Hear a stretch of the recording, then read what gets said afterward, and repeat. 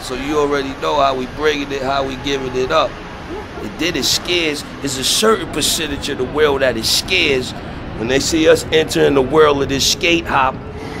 Cause that's what we call it, hip hop niggas that's rocking the skateboard gear. So this is a skate hop. This is the diamond life, but it's under the skate hop umbrella.